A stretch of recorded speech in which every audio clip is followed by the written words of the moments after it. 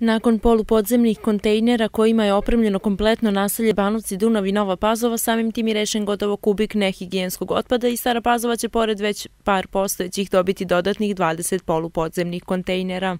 Postoje već lokacije koje će biti ovdje e, e, u Staroj Pazovi i to radi komercijalna naša služba koja je već e, dala jedan plan i mi ćemo izaći u susret tome i građanima da postavimo te polupodzemne kontejnere u skladu sa našim financijskim mogućnostima.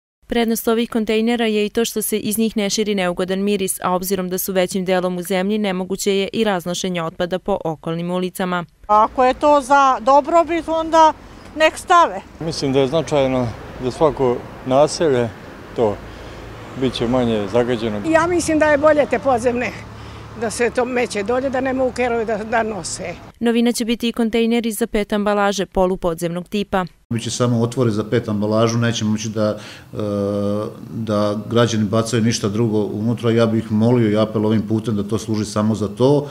A sa druge strane, e, neće moći biti pristup nekim ljudima koji sakupljaju neke sekundarne sirovine. Preduzeće već posjeduje mehanizaciju namenjenu za pražnjanje polupodzemnih kontejnera, a 15. decembar pominje se kao rok kada bi ovaj posao trebalo da bude završen.